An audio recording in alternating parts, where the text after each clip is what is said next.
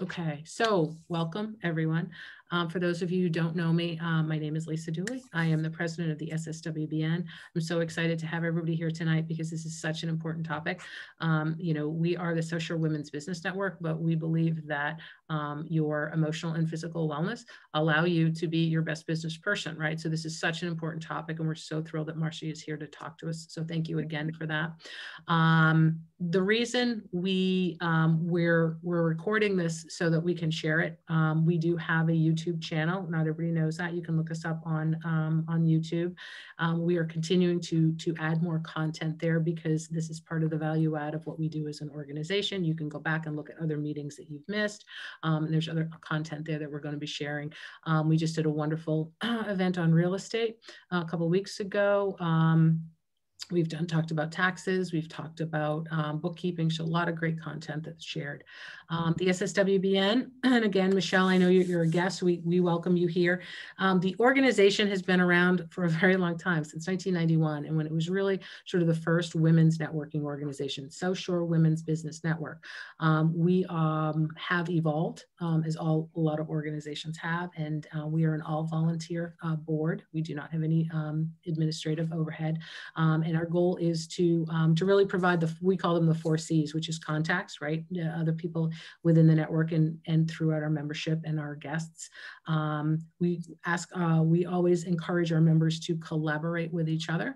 I have done uh, collaborative events with a number of people, um, with Laura, with other members of the organization, um, and it's an opportunity to collaborate, bring your strengths together, and that's so exciting for all of us. Um, we also like to talk about coaching. Um, there are a lot of people in this organization um, who have a lot of experience in different areas. It might be a business area, it might be a personal area. And so we always are so excited when our members can coach each other. And sometimes it's as simple as, hey, you know, if you save your contact information in a Word document, then you can just copy and paste it people that's coaching. So congrats. So so two thumbs up to all of you who learned how to do that because that's how we learn to do better right? We don't know what we don't know in our businesses and our lives. So so that's the kind of coaching that we we love to encourage between our um, um, during these events and, and certainly offline as well. And the last piece is community. Um, we are um, if i have three 503c charitable organization and it is an important part of our tenant that we give back to the community so every quarter we um, pick a, a charitable uh, charitable organization. Um, we have this quarter, we are supporting Annie's Kindness Blankets, and they will be joining us at our quarterly breakfast, and they'll share about them. So we do do some fundraising through raffles at live events, which are coming up. Um, so speaking of that, so we have some great live events coming up. I'm going to throw this over to Michelle, who is our event chair, and let Michelle talk about um, our upcoming events and get us started. Yeah, hello everybody. Um, so Michelle Werdeman, and yeah, so we actually have our first live event coming up in June, and that is actually going to be at Lisa's house. It's she has a beautiful front porch. Mm. Um, I was actually a presenter there back in October, and it's a great spot. Uh, we're looking forward to actually seeing people. But what we're going to do is we're going to that's going to be a lunch and learn that's going to focus on how you can use the equity in your house. We have another one of our members that's going to give a presentation about that. So I believe, you know what? Uh, I just closed my book by accident. It's June 8th. 8th, yep. Yeah. Yep. Tuesday, yep.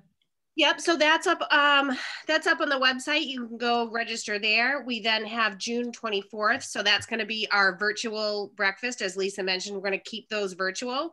Um, and we're going to talk about diversity and inclusion in the workplace. So that's going to be, it's so relevant now with, you know, just kind of our environment and whatnot. Um, July, we have our next in person will be, it's a lunch, no, excuse me it's an after hours. It's going to be a wine tasting and we're going to have two members. So we have one of our members that does the Scout & Cellar.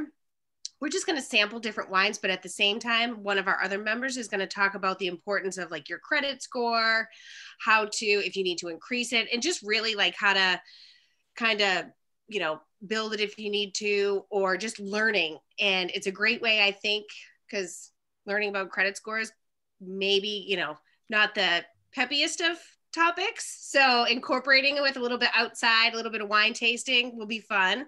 So that is also up on the website. So feel free, you can go ahead and uh, register. Um, so do you want, Lisa, did you want to do, do you want me to introduce Marcie or do we want to go around and I'll kind of yeah, that's why. Yeah, why don't we go around and just tell you know everybody do sort of their two minutes about who they are. We'll end up with you, Marcie, so that you can start um, and you can talk. Are you doing a screen share? I should have yes. asked you. Beautiful. Okay, so you were set up to screen share. Um, so I'll just start because I'm here. Um, Lisa Dooley again. Um, I am president of the um, SSWBN.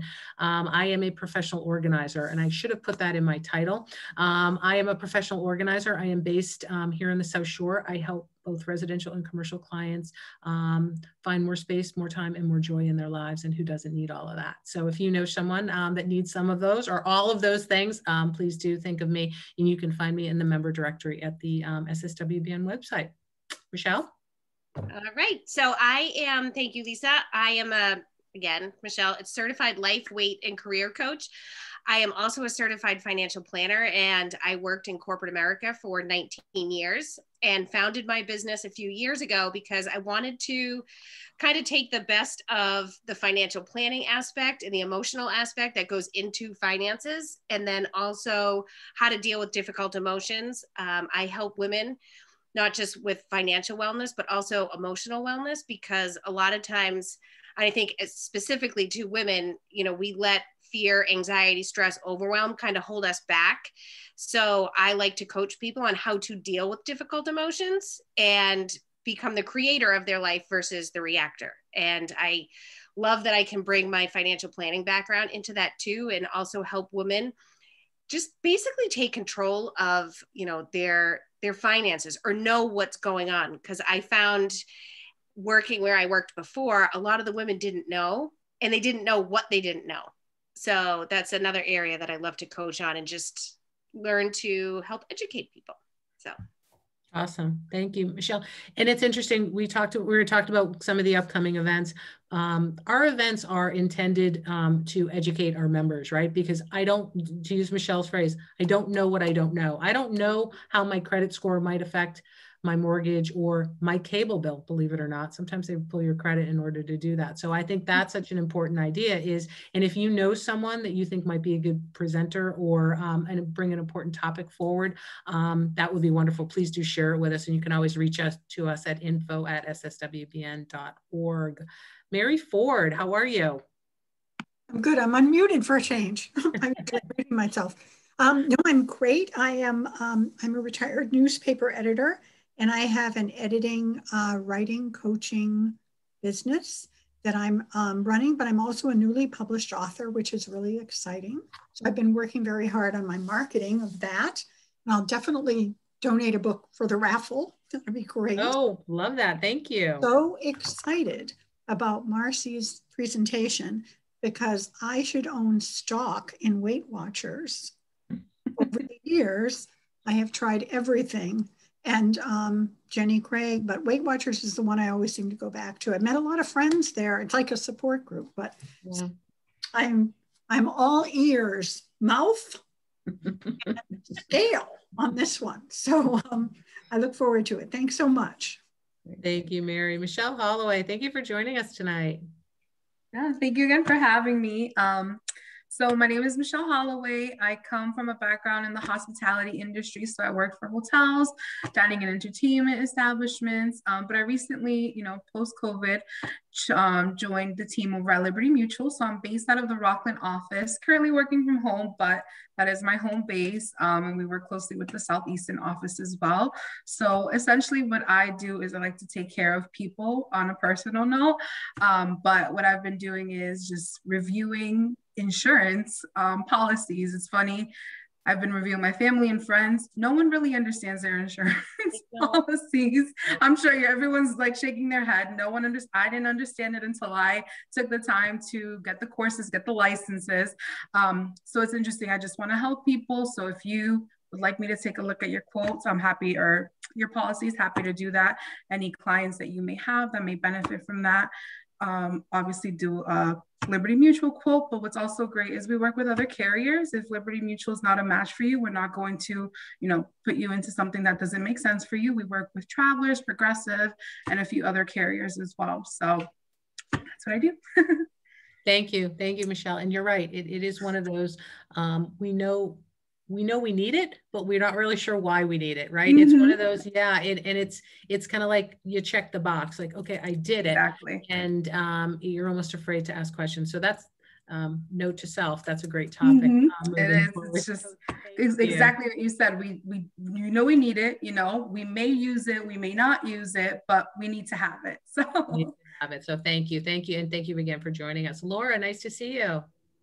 Good evening. So um, Laura Bradeen, I'm an independent agent with um, Primerica Financial Services. And I, it sounds like I have a similar venue with Michelle. Uh, one of our basic um, products or services that we do is life insurance.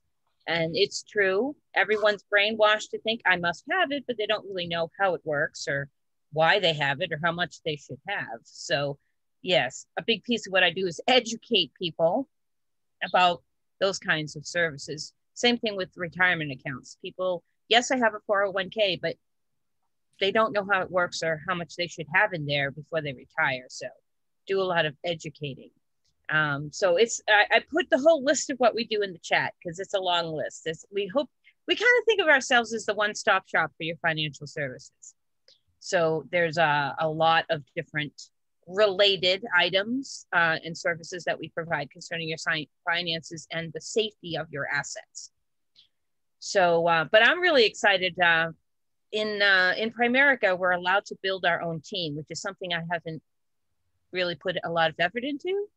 So I just I just uh, had a, a young guy join my team in the past couple of weeks Awesome. And I am a licensing coach with the company. So I'm the one that helps people get their first license, that life insurance license. So he's getting licensed because I'm going to make sure. And so I'm kind of excited about a new, almost like a new chapter in my business here.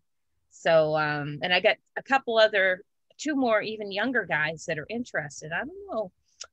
We'll see what happens, but I'm, uh, I'm glad that I, I seem to be moving forward with uh, with my business in a different direction, and I'm kind of excited about it. So that's awesome, Laura. Congratulations, building a team and um, you know being able to um, build a wider platform is huge. So it, it gives, gives you that wider reach. And I love the fact that you said you're making him learn and get his licenses because um, it's always a question of does this person really know what it is they're talking about when we're asking those questions? So thank you for that. And thank you again. Congratulations. That's awesome. Lynn Feingold. Laura, you're on a roll. It sounds great. so exciting. And I can tell you're just full of energy. I love it. Um, I'm Lynn Feingold, virtual assistant, and uh, I worked for Dunkin' Donuts corporate headquarters for more than 30 years as an executive assistant and now uh, I have decided to hang up my shingle, as they say, and be a virtual assistant. And so I work from home and I work for people all over the country. I have a lot of fun meeting people. I love to talk with people and find out what they've got going on with their business. I often say, please bring me your chaos and I will just help you straighten it all out. And um, that is what I specialize in. Been doing a lot of writing lately, much more writing than anything else. Uh, press releases, creating social media, designing, um, you know, web pages and things like that. But it's been a little bit of everything. Uh, but I'm really enjoying all of the different things that I'm learning to do. It's kind of a crash course, but I'm really enjoying it. Thank awesome. you. Congrat and congratulations on launching the business. And I think it's interesting. It's like we learn something and then we're able to take it into that next part of our business or a different part of our business, right? And that's that's the building of the skills. Um, and and I think that's so huge. So congratulations on that. So welcome everyone. And now I'm going to turn it over to Marcie. Please take okay. it away. Uh, thank you. And thank you for allowing me to talk about this topic tonight. It's something I have a lot of passion for. Um, so I, like many of you, started in a different career. I was in corporate America for quite a while, um, in technology and consulting for over 25 years. And I, somewhere in my mid 50s, I sort of turned my own health around and got really excited about how that happened and the impact it made on my life. And so I went back and was trained as a health coach. And then a year later, took my boards and um, started my own business. So that's what I've been doing for the last five years. And I love it. So I always wanted to do to work for myself, but um, just never took that leap. So Uh, it's very exciting, and this this topic is very near and dear to my heart um, because it's something I struggled with from a, from a very young age. And I'm I will tell you uh, some of my own story um, as I as I get going. But if could we could I share screen? Am I? I think you're good to go. Why don't you try that? I think I enabled it. You did great.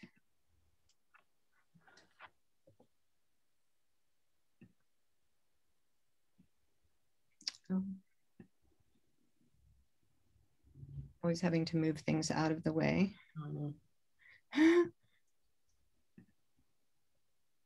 Just bear with me one minute while I figure out where to put my little gallery window. There we go. Okay, so um, the title of, of this is The Truth Behind Emotional Eating and Yo-Yo Dieting. And I added a hint here that it's not your fault and you'll see in a minute why I um I put that there. Oh, okay.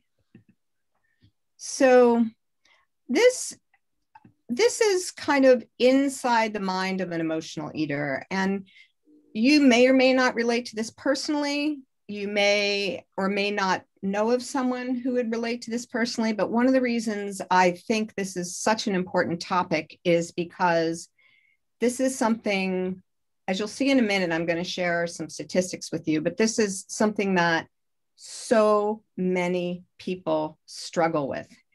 And they do it in secret because there's a lot of shame associated with it. And so, you know, I I talk um, to a lot of people in the corporate world and I tell them, you know, you need to look out for this on your teams. This is, you know, there's a big focus on mental health these days, but this is not an area that's getting any visibility. And I think it's an area that needs to, you know, come out of the closet, so to speak. And so over the past, um, I was coaching weight loss for several years. And then over the last, I'd say, year and a half, I really the last year, I decided to completely pivot my business and focus on helping people who struggle with emotional and binge eating and um, I, in the process, I kind of had to out myself, and I, um, I do some, I do regular like weekly emails, like a newsletter to um, my mailing list, and I got, I've gotten such interesting feedback from people like, oh my gosh, I never thought you would have struggled with that. You seem so buttoned up and in control all the time. Well, let me tell you, it was very messy in there.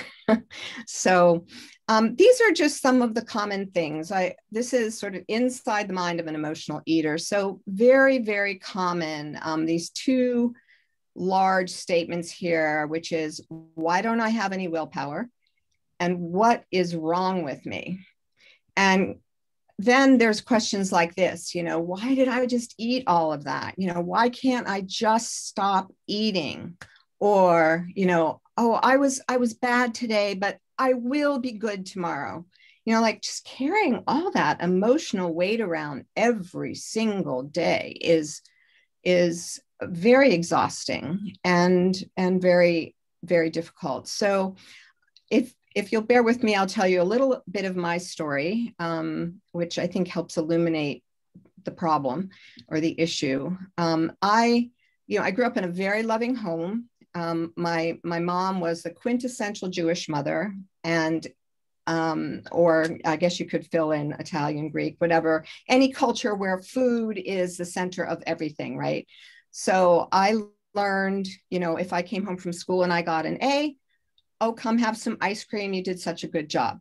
If I had a headache, it'd be, oh, Marcie, you must be hungry. Here, come have something to eat. So food was always the answer to everything. So, you know, as a result, I learned to self soothe with food. Um, when I, um, you know, so I struggled off and on and I tried every diet. And, um, you know, I can remember as a young child overhearing my mother say, they were gathering, we were away, and they were like, oh, let's take the kids for ice cream. And they didn't know I was in earshot. They were like, oh, where's Marcie? Someone has to go get Marcie. And my mother, who was so loving and so accepting, I heard her say in a sharp, critical voice, the last thing that child needs is ice cream. So to me, ice cream became this forbidden food and to this day, it is a trigger food for me, you know. Um, so it's just so interesting how our experiences with food and with our families really shape uh, our relationship with food. So when I turned, so when I turned about 50, um, I was not able to have children, but we adopted a 12 year old out of the foster care system when I was 50. And I was her third legal mother. And I was working a very high stress job at the same time. And we brought this child into our lives. And I will tell you, it is hands down the hardest thing I've ever taken on. And so my stress went from elevated, I'm pretty type A to begin with, to off the charts. And that's when I really discovered, you know, the real strong, compulsive, um, you know, need to to use food. I, I call it to self-medicate, basically, food and wine. Um, so she would go to bed and I would shove all my emotions down my throat. Um, you know, we would bond over nachos and pizza because that was the food that she liked to eat. And then after she would go to bed, I would hit, I never had junk food in my house before, but all of a sudden I had a 13 year old. And so I would hit the Oreos and the ice cream. And then I would run out. I would wake up in the morning and be like this I can't believe I did that. Oh my God, you know, as opposed to waking up, oh, what a beautiful day you know, I did not wake up with gratitude. I woke up with regret and guilt. And I, there were times I ran out of the house at five, six o'clock in the morning before everybody woke up to replace the Oreos and ice cream or whatever the heck I had finished so nobody would know what I had done. So um, that's a little bit of my story. So um, I just wanted to share that and sort of set the stage. And um, my, if you take nothing away from this talk tonight, other than willpower is not the answer, and trying harder is not the answer. And that's what I hope to convince you of in the next 30 minutes or so. Okay. So first, let's look at some statistics. Um, so 75% of the US population is either overweight or obese. 75%. Um, approximately 75% of people who overeat are emotional eaters. And I'll talk about some definitions in a minute. Up to 30% of adults seeking weight loss support meet the criteria for binge eating disorder. 30%. Uh, women and men are affected equally. Um, this one surprised me when I learned this. Um, 40% of sufferers are male. Um, binge eating disorder, uh, BED, is more common than breast cancer, HIV, and schizophrenia. And that's why I said what I said in the beginning about how this needs more light shed on it because it is so much more common than people understand. Um, please, oh, by the way, um, please feel free to interrupt me or ask a question at any point in time um, if you would like. Okay, so first let's talk about what some of these terms mean. And also, I think of emotional eating as being on a continuum. So on the left, you have what I'll call a healthy relationship with food. So what does that mean? Um, I always say, believe it or not, because it's hard for me to wrap my head around. There are some people for whom food is just food. You know, they eat when they're hungry, they stop when they're full, they don't obsess about it, they don't think about it all the time, they don't know how many calories are in an apple or a donut, you know, and they just, it's just not something that they worry about, think about. It's just food. Um, I put this line here because everyone emotionally eats a little bit, at least most people do, and some amount of emotional eating is perfectly healthy. Um, so then here emotional all emotional eating really is is eating in response to a heightened emotion so you're stressed so when you're not hungry so it's a form of self self-soothing um, a way of distracting yourself uh, and you know there's some hormone hormonal things that go on where you get like a hit of dopamine so it is it is a bit like self-medicating then at the other end of the continuum you have the actual eating disorder. Yeah.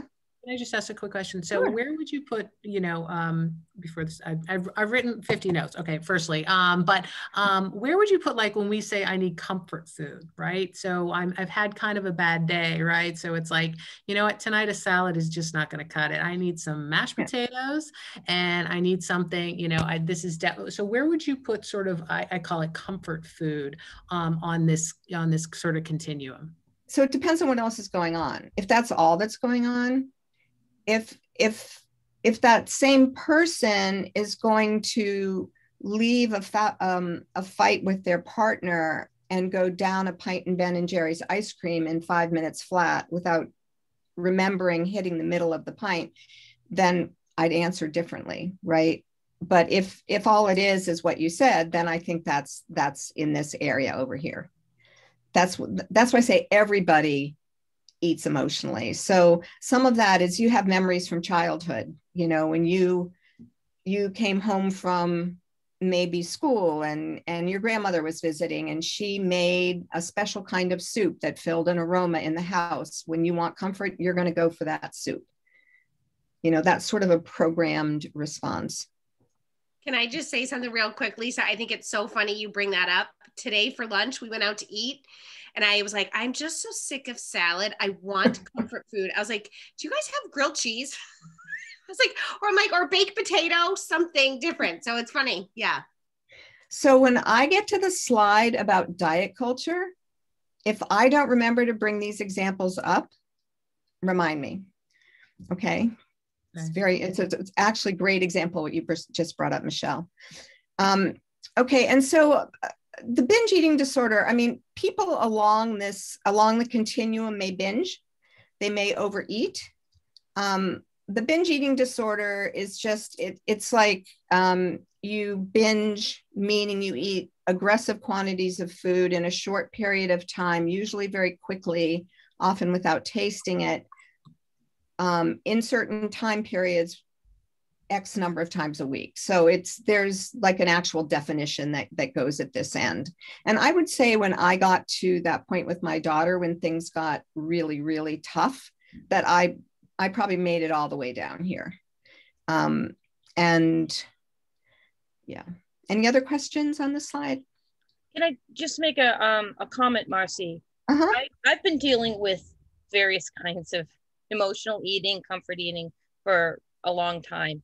One of the things that I've come to realize for myself personally is, and it I don't think it quite is at the the you know the BED end, but um my mother grew up poor. And when I say she grew up poor, there were days when there was no food in the house, not real food. Like her father worked at a candy factory.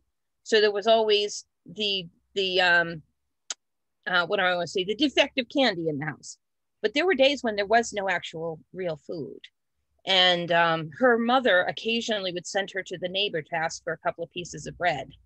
And if she got the bread, then she should she was supposed to ask for something to put in them. It was was that severe. Mhm, And so obviously that affected her mhm. and you know her mentality about food and and poverty or whatever and um so i know that like there are days that, or i'm better now but i i have recognized that i have i had a fear of being hungry. Not that i was hungry but i was afraid that I, afraid that i would be hungry. And i realized i inherited that that mentality from my mother and the way that she would um you know she never ate dessert. She always had seconds of real food. Mhm, and we always had lots of food mhm. so that we wouldn't run out. And then we felt compelled. And so i got that idea. Now i'm now i feel compelled to eat it because i can't waste it. And so so it's a whole it is an emotional type thing but i i i inherited it from my mother. Yes, it's and it's um but i have you know i'm, I'm getting better dealing with it because i recognize now the source of it. And that's very insightful of you. And that's another great setup for some of the things we're going to talk about because it's almost everything all of our triggers you know things that cause us to emotionally eat you can trace them often back to something from childhood, some experience, um, some trauma, and often um, there there's actually an exercise that I do in my program, which is not I didn't make it up. I mean, it's it's um, done in a lot of habit changing programs where you look at the fear and you look at the truth, and once you can recognize the fear is happening in you, and you can stop, slow down, take a breath, tell yourself the truth, then you can potentially move on and change your your behavioral response. So that's very insightful of you and a great example. Thank you for sharing that. Um, and actually, we're just about to talk about some of that. So I could spend a few hours on this slide, but I promise you I won't. And um, but emotional eating this is this is the beginning of my argument for why this is not about willpower so there's some real heavy science going on here okay and i put it into three buckets um, one is mindset and this is your limiting beliefs, your attitudes, and basically uh, your behavior is shaped by the experiences that you or your family members who influence you had as children. So um, you just, you know, gave us a, a great example of that. So, um, so mindset is a huge, huge piece, and um, Another piece is biochemistry. And the biochemistry is um, this is things like you have um, you have too much sugar for breakfast. You wake up, pardon me, that was a judgmental statement. You wake up for breakfast, you have a glass of juice, a cup of coffee, and a large muffin. So what you've just done is loaded your body with your with a ton of sugar. Mm-hmm. And you're going to spike your blood sugar your, your hormones are going to go a little bit around in circles. And then around two hours later, an hour later, you're going to crash and you are going to physically crave sugar. So the biochemistry piece is, is actual physical imbalances in the body that cause cravings. Okay. And, and the, the problem with all of these areas um, which is all very fascinating when you look under the covers, is they're all little cycles. They're all little vicious cycles. So you eat a lot of sugar, you get a spike, you crash, you crave, you eat the sugar, you spike, you crash, and around and around you go. And this is when people say I'm addicted to sugar, sugar is an addictive substance. It, you know, you get feel good hormones, your hunger hormones get crossed it's um it's very interesting. And hunger is another one. So sometimes people who restrict um you know i forgot to mention this on the other slide that i talk about the prevalence of this problem this has nothing to do with whether you live in a larger body or a smaller body. So people who live in smaller bodies have this problem as well. I have several clients who have significant disordered relationships with food, who have binging issues, who have emotional eating issues. Their relationship with food is very messed up. But to look at them, they look thin and fit. And it's just because they're really, really good at restricting. They binge restrict, they binge restrict, they restrict, and then they can't stop eating once they start, then they restrict. So it's, um, you know, has nothing to do with size. Okay, so that's biochemistry, but I'll just tell you that hunger, when you get too hungry, that again sets off a cycle in your body of craving. Okay, the neuroscience piece, this is where the magic happens, people. The neuroscience piece is fascinating. So basically, we're just little computers, right? Our brains are amazing, and our brains and our stomachs are very connected. But basically, when you all habit is is sort of like a, a, neural pathway in your brain. And when you repeat something over and over and over and over again you strengthen those neural habits and those neural pathways and those are what become habits. So the more you do something the more ingrained the habit is. So the good news is anything i'm an old uh, computer programmer years ago anything that can be programmed can be reprogrammed. That's the good news. You can literally rewire your brain. And so at the end, I'm going to I'm going to tell you sort of what the model looks like for how you get out of this vicious cycle. But again, you know, I'll give you an example here is if you, you know, you grew up and your mother every morning put on the table a, a glass of juice, a bowl of cereal, and you had that every day. And then when you went to college, you did the same thing because it was easy. And so for 20 years, you've been having juice, cereal. You know, that's a habit, it's deeply ingrained. So to change that breakfast can be really hard. And that's not about willpower, that's about neural pathways, right? So um, this is why I'm always saying to people, give yourself some grace. You know, you didn't you didn't come up with this habit overnight. This is a journey. It's a healing journey, and it takes time and it takes patience. Um, so what you what you need to know is all these. I'm not going to try to overcomplicate this, but these there's so many little cycles in here that feed each other, um, and I'll, I'll go into one of them in a minute. But they they can set each other off too. You know, so um, example, you you always have popcorn when you go to the movies, right? So that's both a mindset issue because your experience is uh, you you you go in the movie theater, you smell the popcorn, and you it reminds me of your youth, and boom, you want you buy the popcorn. It's also a habit. Anyway, so let me keep going. Okay, so with emotional eating, it's not about the food. It's not about wanting to eat. It's about feelings. Okay.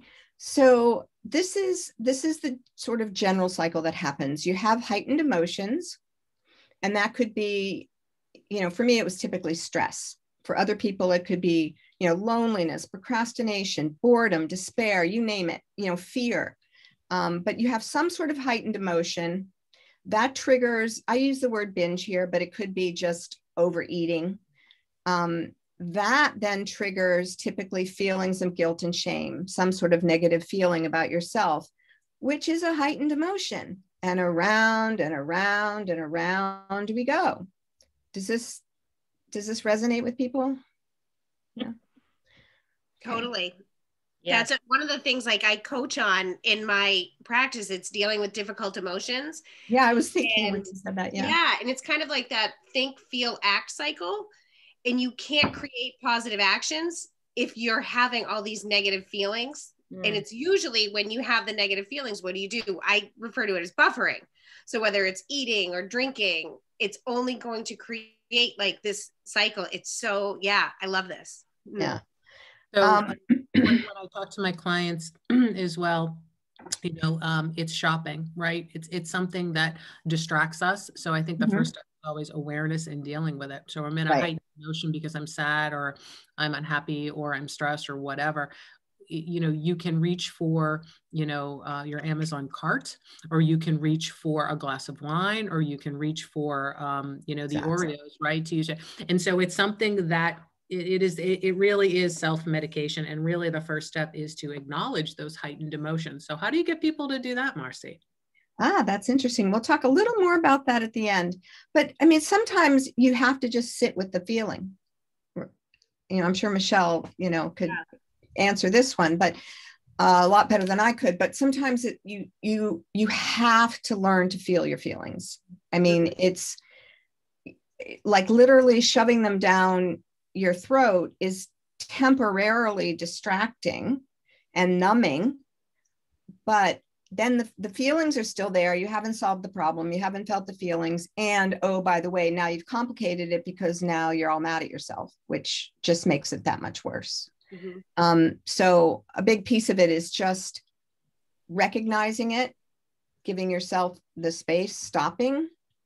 Um, I, will give you an example. I, will use myself so that it's, um, you know, I don't make it personal for anyone else. But um, I I grew up with a very critical, perfectionistic father. So I he would I literally had the father where if I brought home a 98, his response was show me the two things you got wrong so you won't get you'll get them right next time. He meant well, but yeah. Um, he created a monster. So whenever I have to write anything, like if I have to write a paper or something like that, I just freeze. I'm in, you know, I literally, I'll be sitting here. I haven't started. I haven't started. I'm tense and I'm in the pantry. You know, it's like, bam. So finally, it's like, I've learned, okay, what is it that I need right now?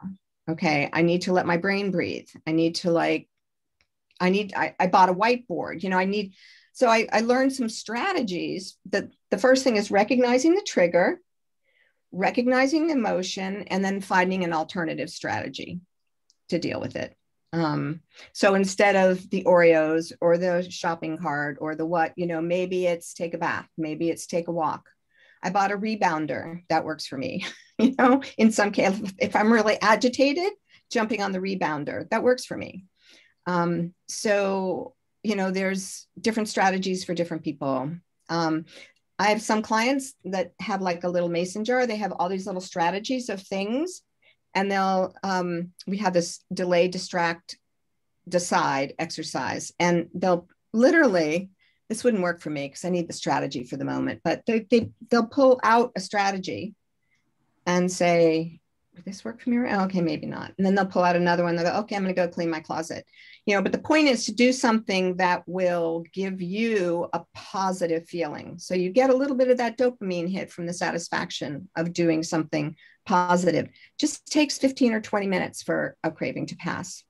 And then if in 20 minutes you still want to do it then do it.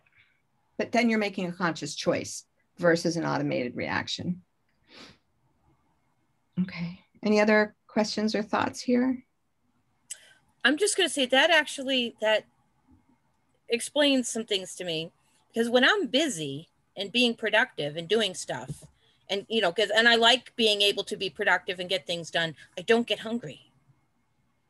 So I'm distracted from that and I'm getting my dopamine hit because I'm uh, that's cool. that's cool. Thank you. yeah, sure. Yeah. No, it's it's interesting. I I have actually had some clients that they don't even know they forgot what it feels like to be hungry. Mm.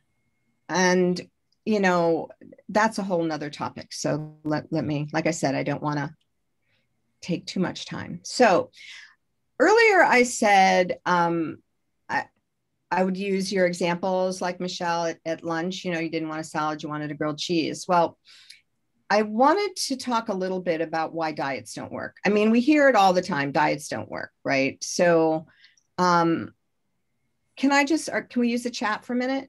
Can people just, if I can find my chat on this weird screen, I don't know how to find it while I'm screen sharing. Hmm. Should be at the bottom. If you hover, can you see it, Marcie? Ah, yeah, yeah, yeah, yeah. Thank you. So why don't you type in the chat? Um, one reason you think diets might not work. For I'm talking about for emotional eaters. I'm not talking about the person who just, you know, had a baby and needs to lose 10 pounds or someone who wants to lose 10 pounds to get into their wedding dress. I'm talking about for emotional eaters, the kinds of things we've been talking about.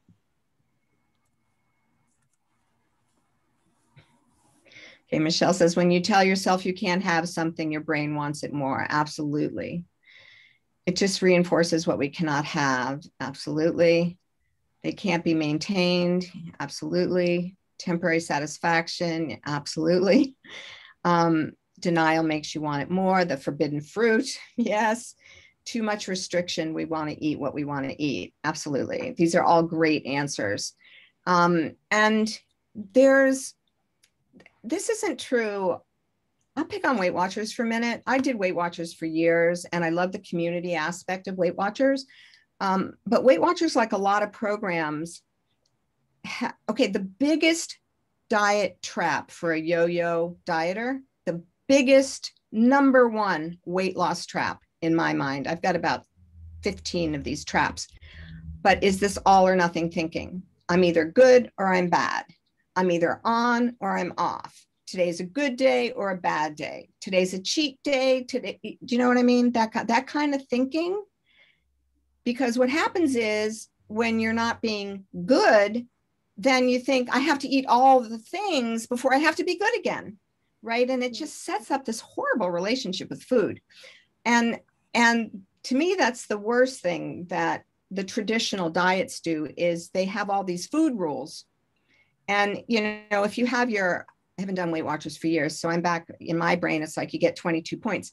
You know, if you have your 22 points for the day and you you exceed them, you know, it's not great. And then you go to the meetings, then there's the shame part. You go to the meetings and you get weighed in, in front of a whole room full of people.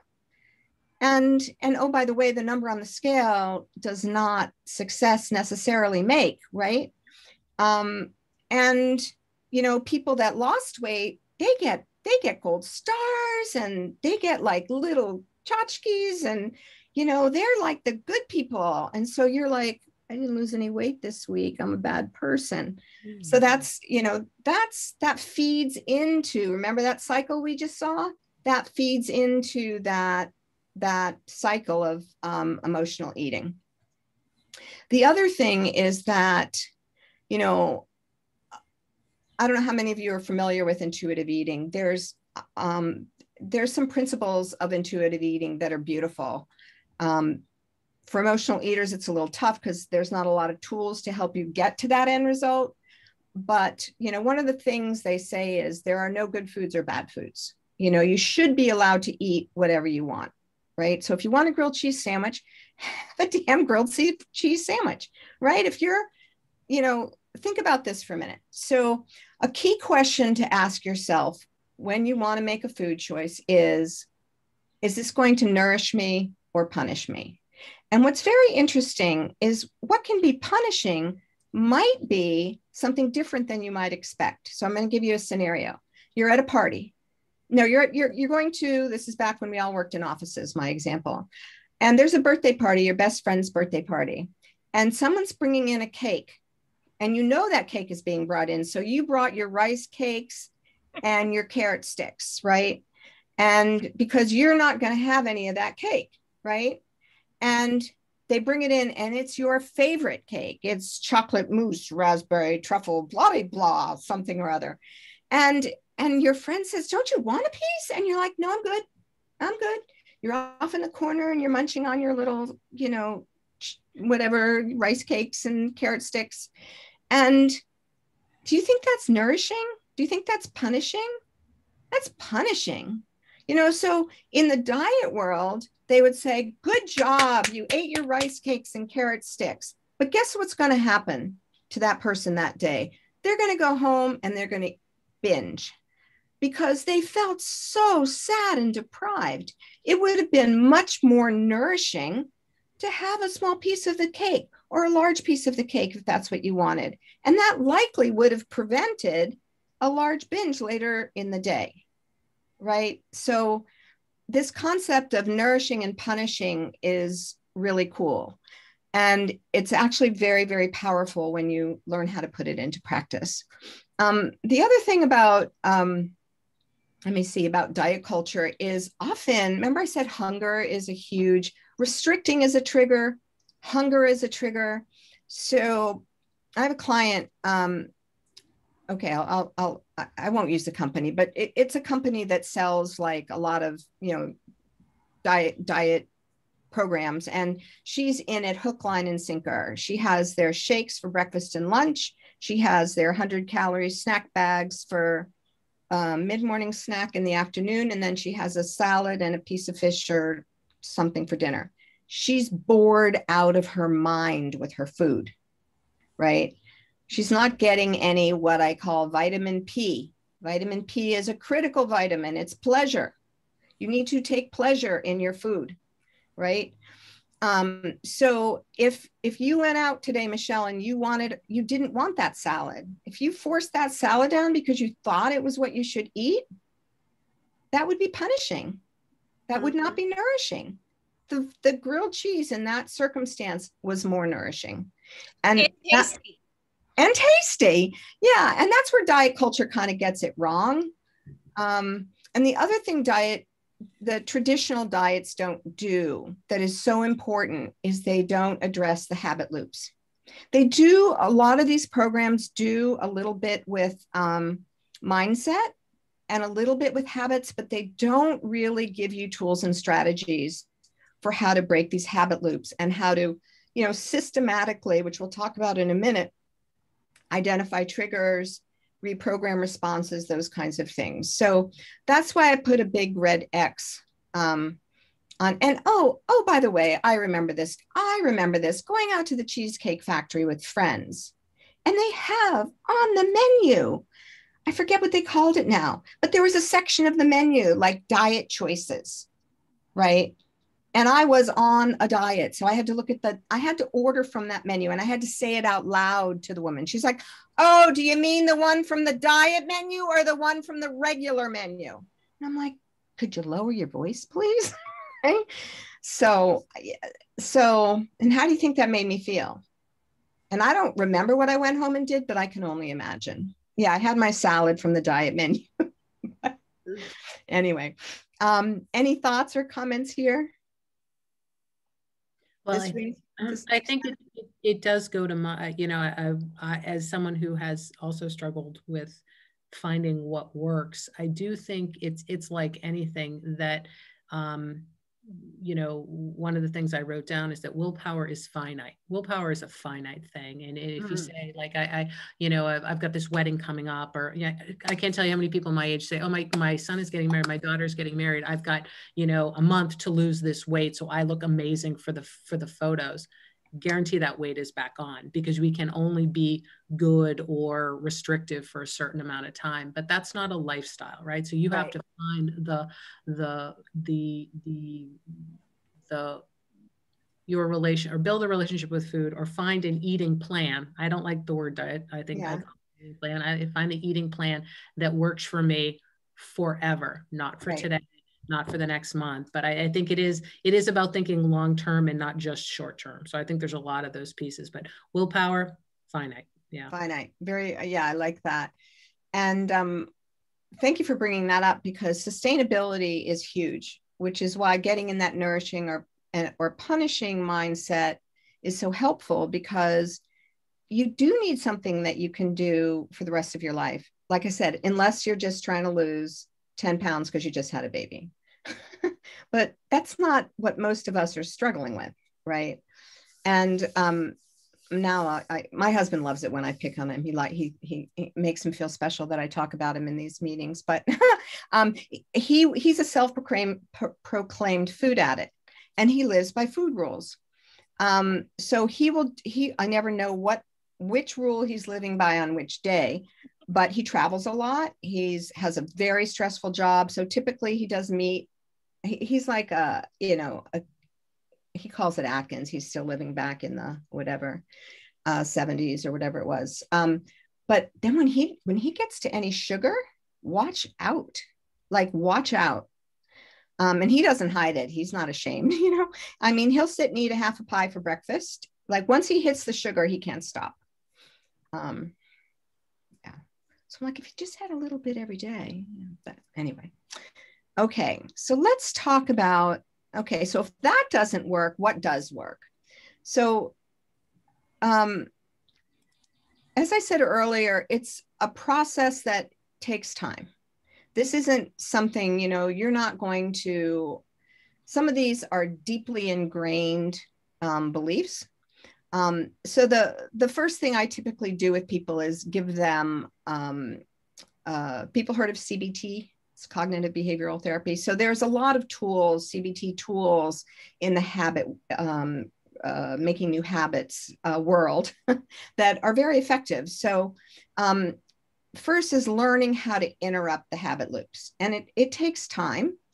Um, but part of that, and this is key, is um, identifying the triggers, right? And I'm still uncovering triggers, and I've been doing this for years. Uh, but triggers could be anything like irrational fears, you know, like of not having enough food, for example, like we talked about before. Um, and that's not an that's believe it or not, that is more common than you would think. Um, a trigger could could just be a stressor of yours. Um, or a trigger could be something like I was talking about when I have to write something and I get stuck because of that perfectionistic streak. Um, so working on identifying triggers, and this is so powerful. It's so powerful. Every time I see a client like have that aha moment where they go to do the automated behavior and then they recognize what's happening and they sit down and they sit with it like they go through the process that we put together and and they they don't binge or they don't like let me just say this too some people binge with food some people binge with wine. So i have some um but they just wine is their drug of choice versus food being the drug of choice versus like you were saying amazon shopping is another one of my drugs of choice. Um, so is really identifying that trigger then sitting with it recognizing it embracing it feeling the feelings all that stuff. Um, but another big step in the process is creating healthier responses okay?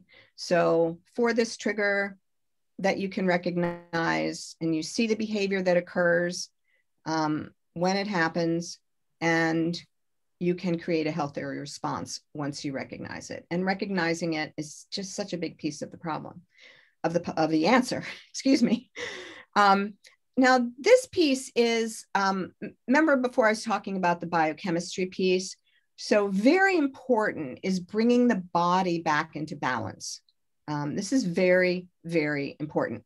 I said body, mind, and spirit, but right now I'm just going to talk about body. Um, so this is, um, you know, this is balancing your blood sugar, balancing your hormones. Um, sometimes I refer patients out to a functional medicine doctor to see if there's some XYZ thing going on. Um, you know, gut health can play in here a lot. Um, so you know bringing your body back into balance is is a very important piece of this and so one of the things i do with my clients some of my training is you know help people understand. I never push it on people but when they're ready is helping them understand the difference in um, you know like what, what are nutrient dense choices. Some people don't don't honestly they don't know how to cook or they don't don't know that you can have a breakfast that's as fast and easy as that shake that you just put water in. I, I can give you something that you can do in just as, as quickly that's probably more nutritious. Um, so some of this is just strategies and, and learning new ways of doing things.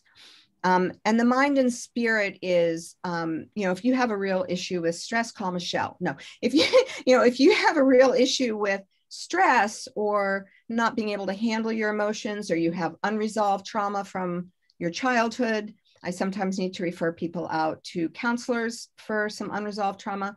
Um, but really, treating yourself as a whole person and making sure that you are whole, mind, body, and spirit is a piece of this as well.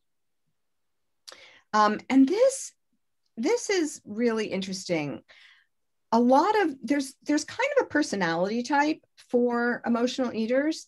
There are typically um, one one of the women who trained me, uh, I took a training from a psychotherapist in Ireland, and she was like, "Marcie, you're not supposed to tell your new clients this." I'm like, "Why not? They find it fascinating." but there's actually a personality type for emotional eaters, which um, um, may or may not resonate with you. Um, perfectionistic, high achievers, um, tend to see the world in black and white. That you know feeds into the right or wrong, I'm good or bad um, typically very good at giving, not so good at receiving, very good at caring for others, taking care of things at work, taking care of their house, taking care of their business, but not so good at taking care of themselves. Um, so this is where radical self-care comes in. This is often the hardest piece for people, um, learning to put themselves first. Um, it's even hard for some people to say, like, that's selfish. Mm, no. You know, you've heard the expression, you can't serve from an empty vessel. Um, but learning how to really take care of your needs, if you can't do this, you're going to have a really hard time doing this, right? Because if you, everyone, oh my gosh, I hear it all the time. I don't have time. I don't have time. I don't have time. All right. Well, you know, when Johnny calls and says, I need a ride to the airport, what do you say? Of course. When your best friend calls and says, you know, I'm, I'm having another bad time, I need to see you for dinner, what do you say? Of course. So, learning how to set boundaries so you have time for yourself is really important. I'm probably going way over. Um, okay. And then I, I put this as a cycle because it's a continuous learning and refinement. Like this is this is a journey. This is something that takes a while. You know, there's questions you learn to ask yourself, and there's a structured process you can go through to um, facilitate this process. But it definitely takes time, and you're you're continuously learning and refining, and getting better at it, and changing your habits. So, does this make sense? Yes, great. It Very does. Yeah, and I love what you you pointed out before like you have to give yourself room like and try not to be judgmental of yourself and just you know know that it is. It's just a continuous you know something that you'll continue to learn. But i think part of it is really like you have to just give yourself some peace of mind that there's nothing wrong with you. Well, yeah, that gets back to the beginning because everyone's always saying, What's wrong with me? It's like, look at all that's going on here, right? You're just, it, I mean, I don't like to play the victim card, but it's, it, it's, you know, there's just so much going on that's been programmed in your body that you don't even realize you have these automated responses and they have sources. And the way to fix them isn't with another diet, right? And it isn't willpower and it isn't trying harder it's it's doing this hard work that's that's how you break the cycle um, so i just had a story that came to my mind but it went right out of my mind Hmm. Can I can I share something quick about radical self care? yeah Because that's that's been something that's like way down on my list of things to do, and um and part of it also is is that I say you know I'm not willing to spend the money on that. And so recently, uh, for for our birthdays, my daughter's birthday was the end of April, and mine's coming up in the end of May. So we went away for a few days, and one of the things she did was she paid for me to have a keratin um, treatment on my hair. Hmm. because my hair was yeah not good. So um but i don't go to the hairdresser. I don't have those things done. And um so she paid for that for me for my birthday. Oh, how lovely and um so and it has actually made a difference in the way i feel and i've decided that my nails are bad and i'm going to go i don't care what it costs i got to find a good place and have my nails done Good. for Good. me this is radical care because i never do these things i don't spend the money on those but um, I know already, just by making the decision, that it's going to help me with this cycle. Because, as you said, you know, and and you know, I I'm supposed to be a financial professional. I need to look like a financial professional. and when you're, you know, and I notice that, especially now we're doing lots of things with Zoom, my appearance is even more important, not just to me, but professionally. Hmm. So Yeah. I'm taking some radical care. That's beautiful. What you'll notice too is, and I can hear it just in your telling the story, is it's a mindset shift.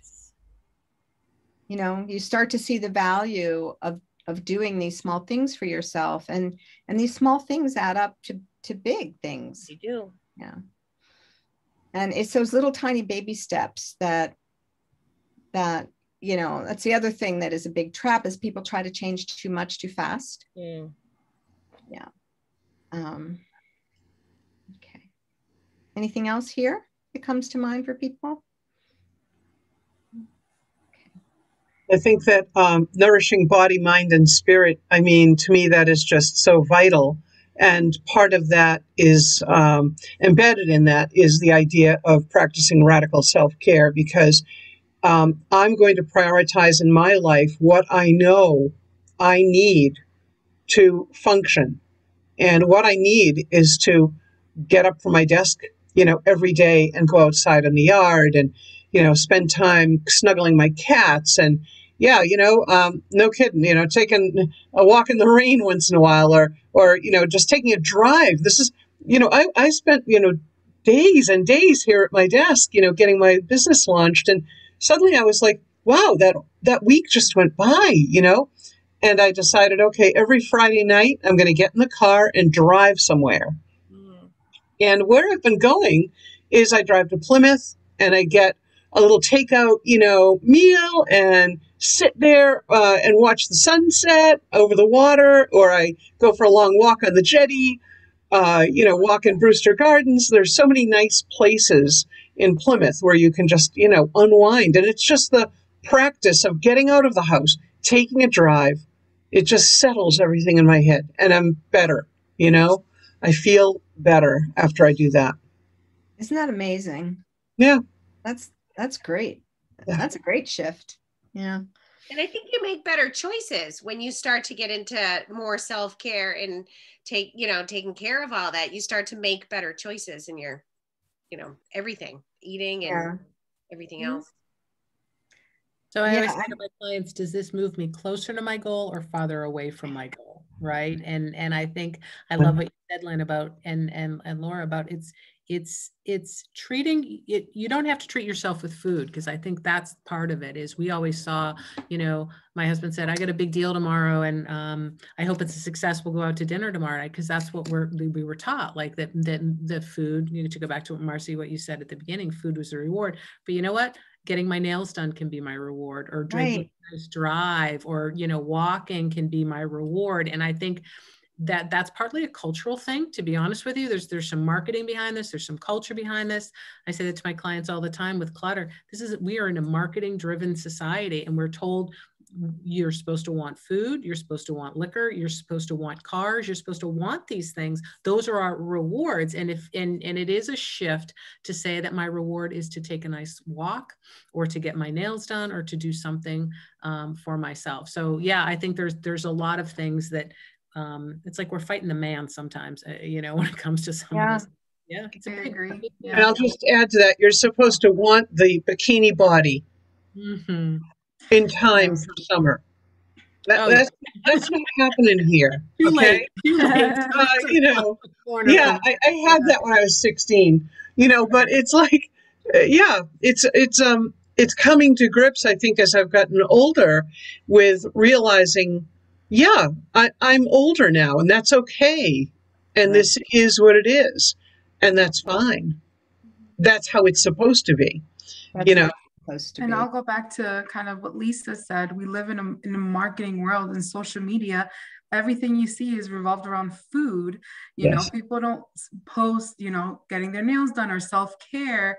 They post oh i went to this fabulous restaurant and look at this fabulous food and that's where you want to go. You you you know pin it you check out the yelp reviews and that's kind of your way of rewarding yourself. Let's try this new restaurant instead of let's maybe do something for myself that's just the way of the world we live, unfortunately. The, the first thing that we say to people or people say to us is, You look great. Have you lost weight? Right. Yeah. That's like yep. number one. And then I have friends on Facebook that if they're traveling, they send a picture of what they're eating at every meal.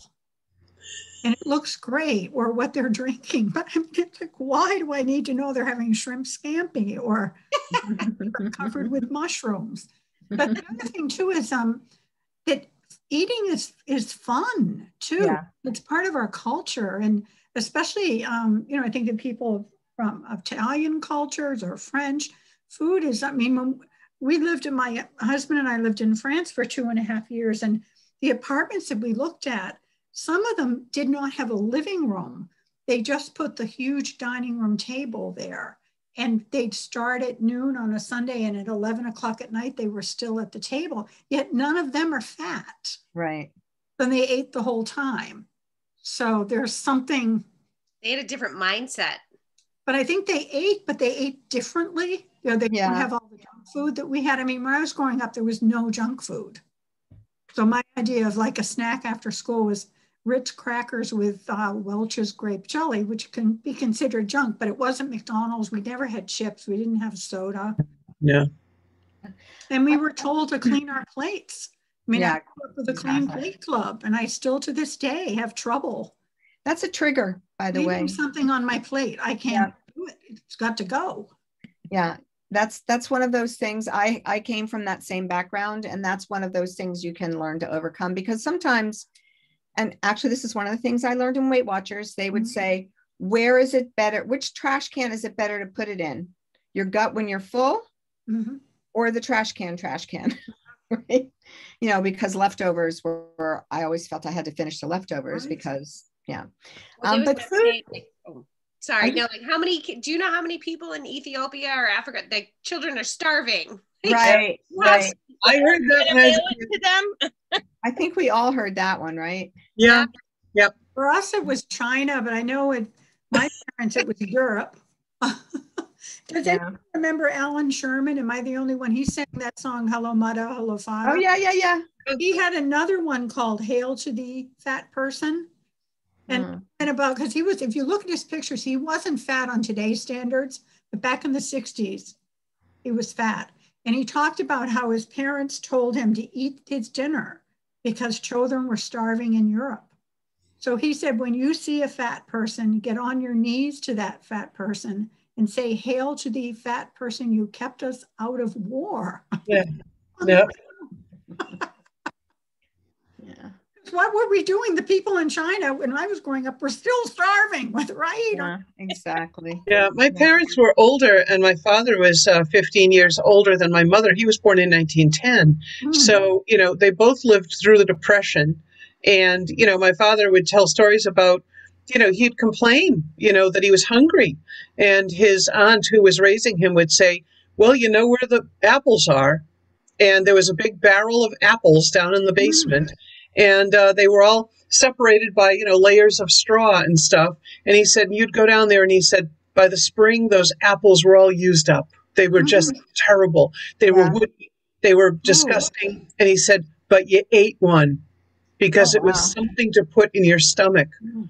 to Yeah. stop it from growling. And he said, You know, yeah, there was some food he just couldn't eat anymore because he ate too much of it. I know lobstermen in Maine who grew up in the Depression and didn't couldn't eat lobster today if you paid them Mm. because they had lobster for dinner every night Oh, Yeah, yeah. because that's what they had. You know, yeah. Interesting. So much, so much uh, emotion is wrapped up in all of our, you know, habits about food. It's Yeah. true, Today, today we have the super size. right? At yes. Wendy's, and you, if you ask for a large, it's a gallon of soda, Yes, and it's huge. Yeah. Only in America, right? right. Ugh. I'll just But I end think they're this doing slide. it. I think, Huh? I think people in Japan are now heavy. They might, they might, but I They- think the it's sizes are a little smaller. Um, I'm just going to end this slide, but I just want to pick up on something Mary said and getting back to the vitamin P.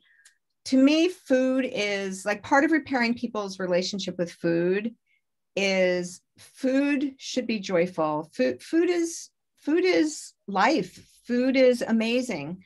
You know, it's beautiful. It's, I mean, there's food art, you know, it tastes good. It's beautiful to eat with people, cook with people, and to be able to take pleasure in food and not have it be a thing that controls you or that you feel out of control around or that you resent, you know, is um, one way to um, just live a, a fuller life.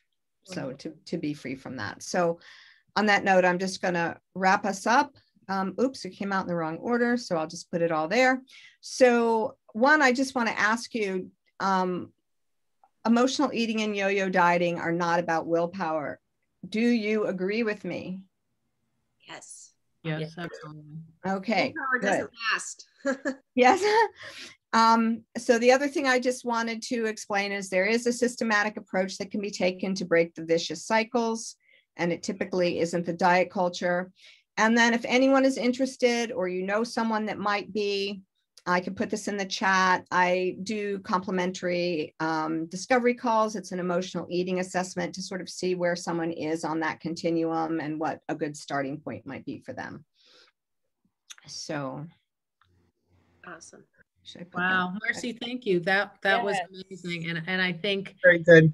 all of us have our you know, I always say with my clients, what's the story you're telling yourself about this object, right? Or- And and I think for this and this topic, it's what's the story you're telling yourself about food? Is it about abundance or is it about scarcity? And we could, ladies, we could be here all night talking about this because it's such a powerful talk. Marcie, thank you. We can't wait to have you back again and to continue this conversation because that was amazing. Thank you. for that. Um, excellent. Um, so just in close, thank you all for joining us tonight. Um, I, I will work very diligently to get this up on our YouTube page. Please look for it. Please look for the chat. Please look for um, the um, look for the link to the YouTube. It does take a couple days. That's a YouTube thing, not a me thing. And um, and I will follow up with an email. Please go to our website um, to the events uh, portion and sign up for some of the great events that Michelle has put together. They will be excellent. Um, please join me here um, in Cohasset um, in just a couple of weeks when we do our first live event. We're super excited about that. So um, that's it. Thank you. I am going to stop the